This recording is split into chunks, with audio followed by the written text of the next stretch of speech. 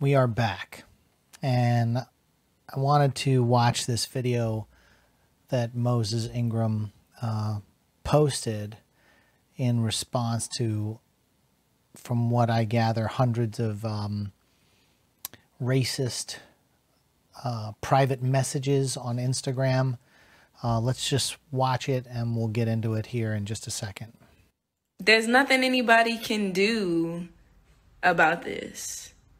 There's nothing anybody can do to stop this hate. And so I question my purpose is, and even being here in front of you saying that this is happening. I don't really know. I don't really know. But I think the thing that bothers me is that, like, sort of this feeling that I've had inside of myself, which no one has told me, but this feeling of like, I just gotta shut up and take it. You know, I just kind of gotta bear it. Um, and I'm not built like that. So I really just wanted to come on, I think, and say thank you to the people who show up for me in the comments and the places that I'm not to put myself. And um, to the rest of y'all, y'all weird. so there you have it. You know, there's a lot of douche canoes out there. And the problem is, you know, and this goes way back. This goes way back. This isn't just her. You know, Kelly Marie Tran was dragged. You could go all the way back to Jake Lloyd being dragged during the Phantom Menace, Ahmed Best being dragged uh, for playing Jar Jar, you know, to the point where some people get depressed, they get suicidal. Um, and it's just, I don't get it because, you know, I watched the two episodes of uh, uh, Obi Wan and um, I enjoy it so far.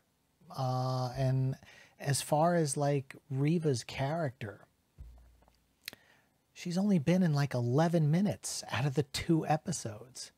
And we haven't even, you know, there's people out there that haven't even given her a chance. Um, there are a lot of channels out there saying really horrible stuff.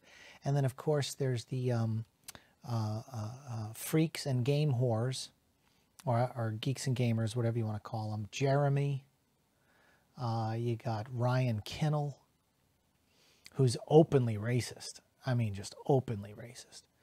Um, you know, you've got the quartering, you've got all these people that are just so sick and twisted, and they just like triggering people. And, you know, it's disgusting. I mean, these guys really, it's a shame that what they did with their channels was they figured out that if they could do a bunch of culture war BS, they can get the clicks and the likes to get the ad revenue. But there's a reason why Jeremy is only at 340,000 or whatever. And he just, he never gains anything more than that. He's got his audience and, you know, the, he's not growing. The reason people like Star Wars Theory keep growing uh, in the millions is because he puts out good content. He puts a lot of production value in his content.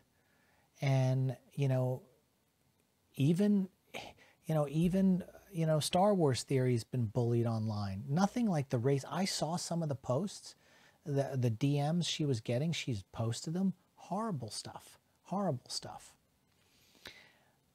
But, you know, that's the thing about a lot of African Americans or black people in general, you know, depending on where they're from, you know, they can't they they're they wake up and and and they feel it every day. And the pressures, you know, and you just you get a small sect of assholes fuckheads, whatever you want to call them. Uh, I will not be submitting this video for ad revenue. Fuck these shitty channels uh, uh, for just perpetuating hate. Doesn't matter, you know. It's it's it's Moses Ingram this day. It's Brie Larson another day. It's Kathleen Kennedy and other. Boy, they really hate women. They really do. They really hate women.